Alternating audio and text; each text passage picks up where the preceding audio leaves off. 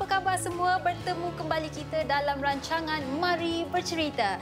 Hari ini kita akan terus meneroka dan menghayati pula novel seterusnya iaitu novel Meniti Impian, novel yang digunakan sebagai buku teks Komsas tingkatan 2.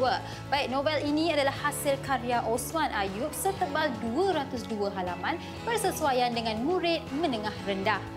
Novel yang menarik ini mengutarakan tentang kehidupan dalam masyarakat yang gigih, berusaha mengejar dan mencapai cita-cita dalam kehidupan yang penuh kepayahan.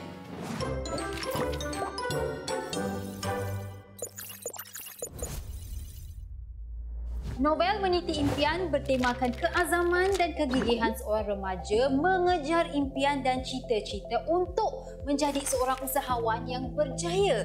Baiklah, mari kita telusuri sinopsis cerita ini dengan meneliti setiap plot di dalam novel ini. Cerita ini bermula apabila Zahar terpaksa melupakan hasratnya untuk belajar di tingkatan enam kerana masalah kewangan. Bapanya sudah meninggal dunia dan emaknya pun pula sudah tua dan sering sakit dua orang adiknya masih bersekolah dan bagi membantu meringankan beban emaknya, Zahar menolong bapa saudaranya Pak Yusof di bengkel pertukangan perabot. Pak Yusof sendiri kagum melihat kesungguhan Zahar. Dia yakin yang Zahar sekiranya diberikan peluang mengikuti kursus yang mendalam dalam bidang pertukangan perabot, dia akan berjaya. Malah pada fikiran Pak Yusof, Zahar boleh menjadi usahawan yang berjaya jika diberi galakan memandangkan anak saudaranya itu sememangnya berbakat dan sangat meminati bidang pertukangan ini. Baik, perkembangan cerita ini, permohonan Zaha untuk melanjutkan pelajarannya dalam bidang pertukangan perabot di IKM telah berjaya. Ibu Zaha, Mak Kiah, sangat gembira menerima berita tersebut. Zaha berkongsi kegembiraannya dengan rakan-rakannya Baka dan Rahim ketika mereka bersolat jemaah di surau. Kawan-kawannya juga gembira menerima berita tersebut dan mengucapkan tahniah kepada Zahar. Bakar menyuruh Zahar memberitahu Suhaili tentang hal tersebut. Semasa di sekolah dahulu, hubungan Zaha dengan Suhaili begitu rapat. Kata-kata Bakar mengembalikan ingatannya terhadap persahabatan yang terjalin antara dia dan Suhaili. Namun begitu, sejak Suhaili menyambung pelajaran di ITM, keadaan tersebut terus berubah. Baik, kita akan melihat perumitan ataupun konflik kisah meniti impian ini. Zahar berasa kecewa dan terluka apabila Suhaili memperlihatkan melekehkan hasratnya untuk menyambung pelajaran di IKM dalam bidang pertukangan perabot. Hal ini dapat dilihat menerusi dialog antara Zaha dan Suhaili ketika mereka bertemu di Alostar. Kau fikir lepasan IKM tu ada masa depan? Tukas Suhaili lagi. Aku tidak mahu berfikir sejauh itu. Yang penting aku mahu menjadi pelatih yang berjaya. Soal masa depan bergantung pada daya usaha kita untuk maju. Kalau jalan itu yang kau pilih, aku tak dapat kata apa-apa. Cuma apabila keluar daripada IKM nanti, jangan merempat macam pelatih yang lain sudahlah.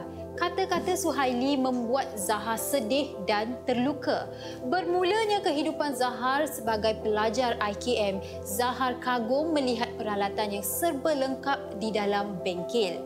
Zahar berasa kagum melihat peralatan yang ada daripada pahat berbagai-bagai saiz, gergaji, pengetam kayu dan peralatan-peralatan lain semuanya disimpan dengan teratur sekali. Dua minggu selepas peperiksaan, semua pelatih bercuti semester selama tiga minggu. Cuti adalah peluang yang dinantikan oleh Zaha untuk mempraktikkan kemahiran yang ditimbanya di IKM bagi membantu Pak Yusof di bengkel. Keputusan peperiksaan yang dinanti-nanti pun diumumkan. Zaha telah lulus dengan cemerlang. Baik, ini dia klimaks kisah ataupun novel Meniti Impian. Seminggu sebelum bermulanya cuti semester ketiga, Zahar mendapat tawaran membuat latihan praktikal di kilang usaha bersatu Sendirian Berhad di kawasan perindustrian Kamunteng, Taiping, Perak dan Zahar dapat menyesuaikan diri di tempat latihannya dengan amat baik. Di sana, dia telah bertemu dengan Suhaili yang secara kebetulan turut bekerja di situ. Zahar mengungkit kembali kata-kata Suhaili suatu ketika dahulu bahawa jalan hidup mereka telah berbeza dan mereka perlu bergerak mengikut haluan masing-masing sambil berlalu meninggalkan Suhaili termangu-mangu. Akhirnya Suhaili berasa malu dan kesal atas perbuatan dan kata-katanya dahulu terhadap Zahar. Zahar telah memaafkannya dan cuba melupakan segala kenangan antara mereka berdua. Baik, peleraian novel Meniti Impian. Zahar berjaya menamatkan latihan praktikalnya dengan cemerlang. Selepas tamat belajar, dia berjaya juga memenuhi impiannya selama ini untuk menjadi pengusaha perabot yang terkenal. Menerusi halaman 194, sejak tersiarnya rencana kejar kejayaan lepas dihina kekasih dalam akhbar harian kebangsaan, bengkel perabot meniti impian semakin dikenali ramai. Zahar memilih nama meniti impian kerana nama itulah paling sesuai bagi mendukung makna yang besar dan tersendiri pada dirinya. Itulah dia cerita tentang Zahar yang meniti impiannya untuk memiliki perniagaan perabotnya sendiri. Walau Walaupun pada awalnya Zahar mengalami kesukaran kerana kesempitan hidup dan dia juga dihina oleh Suhaili, Zahar akhirnya berjaya membina meniti impian. Baiklah, jangan ke mana-mana. Kita akan kembali sebentar lagi dengan ujian bahasa untuk novel ini.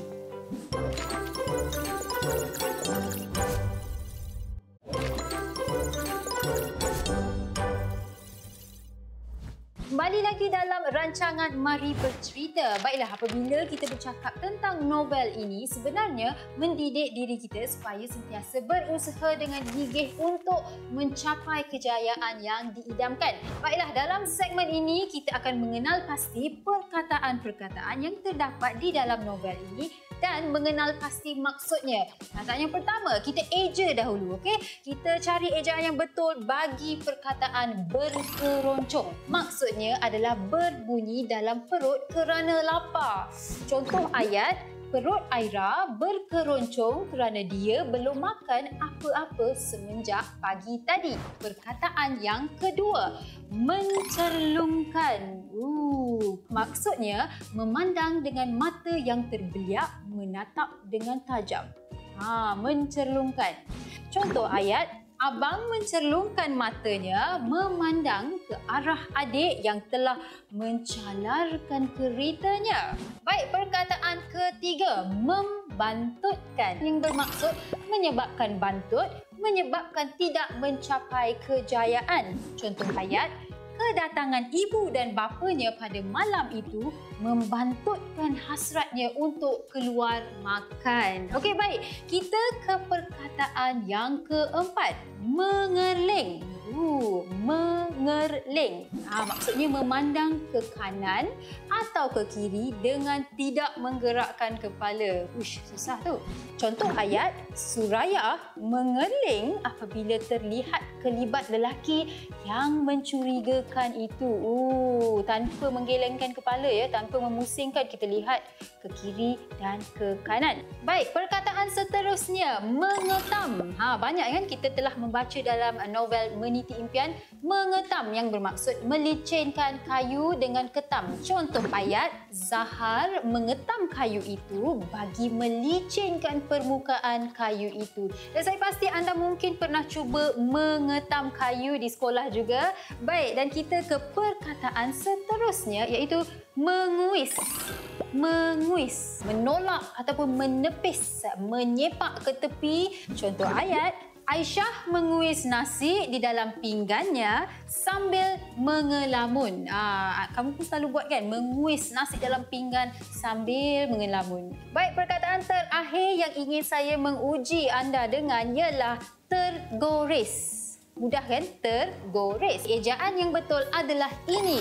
Tergores. Ah, contoh ayat daripada buku uh, Meniti Impian ialah Hati memang mudah tergores bagi yang tewas. Dan contoh ayat Hati Adam tergores mendengar keluarganya dihina oleh Sarah. Baik itulah dia perkataan-perkataan yang terdapat di dalam novel ini. Dalam semua perkataan yang kita bincangkan tadi, ada tak perkataan yang anda selalu gunakan dalam karangan ataupun perbualan harian anda? Hmm, apa kata anda tulis karangan yang pendek dengan menggunakan perkataan-perkataan itu yang jarang digunakan atau yang tak pernah anda dengar dari semua perkataan-perkataan yang kita dah bincangkan tadi. Dan sementara anda menulis karangan tersebut, apa kata kita berehat sebentar dan kembali untuk membincangkan watak-watak di dalam novel Meniti Impian.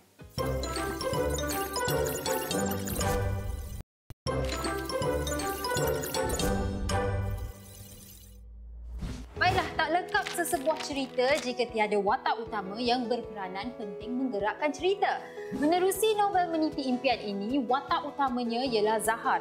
Zahar adalah anak sulung daripada tiga orang adik-beradik. Dan seperti yang saya baru sahaja katakan pada anda, Zahar merupakan anak sulung. Jadi itu adalah salah satu perwatakan Zahar. Zahar digambarkan sebagai seorang anak muda yang rajin, Rajin, okey, itu satu lagi perwatakan Sahar.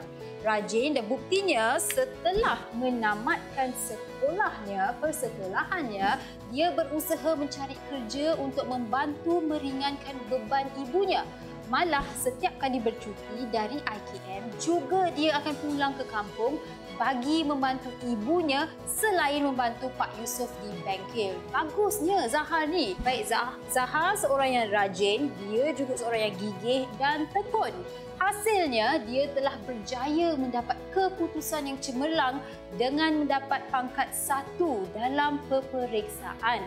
Watak utama juga seorang yang bersemangat dan bercita-cita tinggi. Okey, ini saya suka. Bersemangat dan bercita-cita tinggi. Kita semua pastinya ada cita-cita yang tinggi juga. Sebagai contoh, Zahar berusaha mencapai cita-citanya untuk belajar sesungguh-sungguh ketika menjadi pelatih di IKM dan akhirnya dia telah berjaya membuka bengkel perabotnya sendiri yang diberi nama Meniti Impian. Okey, seterusnya kita akan melihat salah satu watak sokongan dalam novel Meniti Impian iaitu Pak Yusof. Ha, Pak Yusof adalah watak sampingan yang banyak membantu menjayakan watak utama. Menerusi novel ini, watak sampingan yang banyak membantu watak utama ialah Pak Yusof. Pak Yusof ialah bapa saudara kepada Zahar. Dialah yang berperanan mengasah bakat dan memperkenalkan Zahar dalam bidang pembuatan perabot. Baik, jadi boleh saya tulis di sini yang Pak Yusof ni seorang yang baik hati. Pak Yusof juga seorang yang penyayang. Ha, buktinya dia sangat menyayangi anak saudaranya Zahar. Okey, penyayang. Kita tulis penyayang dan kita letak di sebelah nama Pak Yusof. Baik, malah dia juga telah menyumbangkan ringgit Malaysia RM5,000 ketika Zahar hendak membuka bengkelnya bagi memastikan cita-cita Zahar terlaksana. Wah, Zahar sememangnya seorang yang amat bernasib baik sebab mempunyai bapa saudara seperti Pak Yusof yang membantu dan menyokong Zahar dalam mencapai cita-citanya. Kan? Betul tak? Kan best kalau kita semua ada seorang yang memberikan kita sokongan seperti mana Pak Yusof memberikan sokongan kepada Zaha. Watak sampingan kedua yang menjadi penyumbang kepada kejayaan Zahar ialah Suhaili. Walaupun dalam bentuk yang sedikit negatif ya, Suhaili adalah teman semasa Zahar bersekolah. Mereka sentiasa bersaing ketika belajar. Baik, kata-kata hinaan Suhaili juga menjadi pencetus semangat Zahar belajar bersungguh-sungguh demi membuktikan bahawa dia akan berjaya. Selain itu, Suhaili seorang yang gemar memandang rendah akan orang lain. Bukti Buktinya, dia memperlekehkan keputusan yang dibuat oleh Zahar untuk menjadi pelatih di IKM. Baik, dan ini terbukti dalam uh, di halaman 37 dialog antara Suhaili dengan Zahar. Hanya dengan menjadi pelatih IKM, tanya Suhaili sinis. Baginya, pelatih IKM tidak mempunyai masa depan sepertinya yang belajar di ITM. Watak-watak di dalam novel Meniti Impian ini semuanya menarik, betul tak? Walaupun terdapat beberapa watak yang agak antagonis namun lebih banyak watak-watak protagonis yang membantu Zahar mencapai impiannya. Saya cadangkan yang anda semua mengkaji novel Meniti Impian ini untuk mendalami dan mengenali watak-watak lain seperti Cikgu Baharom dan Norimi. Baik, sementara anda semua mengenal watak-watak sampingan yang lain dalam novel Meniti Impian, apa kata kita berehat seketika dan kembali selepas ini dalam Mari Bercerita. Hai, kembali kita dalam rancangan Mari Bercerita. Baik, kita telah pun memperkatakan tentang sinopsis dan watak perwatakan yang terdapat di dalam novel ini. Dan sekarang ini adalah masa untuk soalan misteri. Jadi, jom kita mulakan dengan soalan misteri yang pertama. Soalan yang pertama adalah apakah perwatakan positif yang ada pada watak utama yang boleh kita contohi? Cadangan jawapan untuk anda ialah perwatakan positif watak utama yang boleh dicontohi ialah Zahar, seorang yang tidak mudah putus asa. Buktinya, walaupun dia menerima ejekan daripada Suhaili setelah diberitahu bahawa dia akan menjadi pelatih IKM, namun peristiwa ini tidak melunturkan semangatnya, malah membuatkan dia semakin nekat untuk menjadi yang terbaik dan membuktikan bahawa pelatih IKM juga boleh berjaya. Selain itu, watak utama iaitu Zahar juga seorang anak yang sangat bertanggungjawab. Misalnya, dia rela melupakan keinginan untuk meneruskan persekolahan di tingkatan enam di sekolah swasta kerana tidak mahu membebankan ibunya.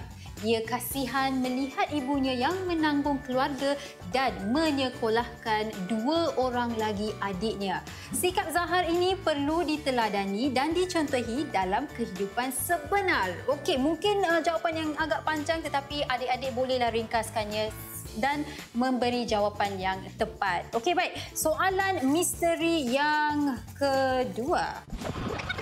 Nyatakan dua usaha yang perlu dilakukan oleh seorang yang ingin mencapai kejayaan dan cita-cita. Hmm, pastinya anda semua ada cita-cita. Jadi apa yang perlu anda ataupun sesiapa lakukan untuk mencapai kejayaan? Cadangan jawapan yang anda boleh gunakan ialah belajar bersungguh-sungguh dan mendapatkan keputusan yang cemerlang. Sentiasa berdoa dan memohon bantuan daripada Tuhan. Sentiasa mendapatkan maklumat berkaitan cita-cita yang diingini. Baik, soalan misteri yang seterusnya. Soalannya adalah nyatakan dua contoh nilai yang terdapat di dalam cerita ini. Baik, cerita ini ada banyak nilai tapi yang diinginkan adalah dua sahaja. Okey, cadangan jawapan ialah nilai kasih sayang. Misalnya, Pak Yusof sangat menyayangi anak saudaranya Zahar dan dia sentiasa berusaha membantu memberikan semangat kepada Zahar untuk berjaya mencapai cita-citanya. Ataupun adik-adik boleh gunakan nilai bertanggungjawab. Sebagai contoh, Mak Kiah Ibu Zahar melaksanakan tanggungjawab sebagai seorang ibu dengan sehabis baik untuk menyara kehidupan dan persekolahan anak-anaknya. Okey, setakat ini semuanya okey? Baik, kita ke soalan misteri seterusnya yang berbunyi begini. Pada pendapat anda, mengapakah Zahar membuat keputusan untuk melupakan hasratnya menyambung pelajaran ke tingkatan enam walaupun hakikatnya dia seorang yang bijak. Ah, mengapa? Saya pasti anda sudah tahu jawapannya tetapi saya akan memberikan anda masa sedikit untuk berfikir sebelum berkongsi cadangan jawapan. Baik, cadangan jawapannya adalah pada pendapat saya Zahar berbuat demikian kerana dia lebih mengutamakan persekolahan adik-adiknya berbanding dirinya. Selain itu, dia tidak sanggup menambahkan bebanan kepada ibunya yang bertungkus lumus selama ini mencari rezeki untuk mereka sekeluarga selepas kematian bapanya. Akhir sekali, dia juga yakin bahawa dia masih boleh berjaya dengan menggunakan minat dan kemahiran yang ada dalam dirinya. Baik, adakah itu juga jawapan anda? Baik, jawapannya tiada betul ataupun salah dalam penggunaan ayat ataupun pengolahan ayat. Adik-adik boleh guna pengolahan ayat sendiri. Baik, itu sahaja masa yang kita ada untuk menjawab soalan-soalan misteri tadi dan saya berharap anda telah mencubanya. Kalau salah, tidak mengapa. Tapi yang penting anda telah mencubanya bersama-sama dengan saya. Nampaknya kita telah pun sampai di penghujung rancangan. Saya berharap agar kupasan tentang novel ini sedikit sebanyak dapat membantu anda semua memahami cerita ini. Sesungguhnya setiap usaha yang dilakukan secara bersungguh-sungguh pasti akan membuahkan kejayaan yang diingini. Kata peribahasa Melayu, usaha tangga kejayaan dan kalau tak dipecahkan ruyung, manakan dapat sagunya. Baik, jangan lupa untuk terus membaca sehingga berjumpa lagi. Bye.